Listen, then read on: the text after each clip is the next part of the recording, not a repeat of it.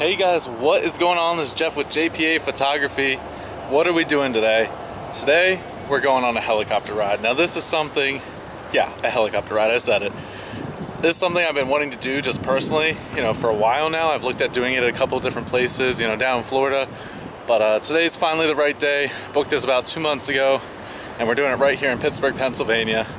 And as you can see, probably behind me maybe, there's a uh, big helicopter pad right over there. And uh, I was trying to get one in the shot. One just took off like right before I uh, hit record, unfortunately. Um, but that's not where we're flying from. Those are medevacs, medevac helicopters. We're not gonna be flying those, of course. Uh, we're gonna be driving out to Allegheny County Airport, taking a private tour. So uh, come along with me. I'm gonna go scoop up some friends, uh, grab my car, and uh, we're gonna head out there and we're gonna take to the skies today. Before we hit the skies, I almost forgot to tell you, we're gonna be flying over this exact spot. This is downtown Pittsburgh. So you've got downtown over there. You've got all of Oakland, the Cathedral of Learning. Um, so stay tuned, up.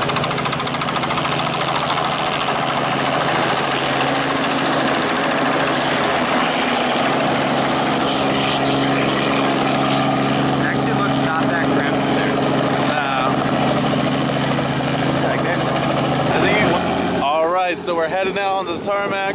Our bird's here. We're gonna go fly over Pittsburgh, see what we can see. This is Gigi, this is John. They're gonna be with us for the flight as well. So let's do it.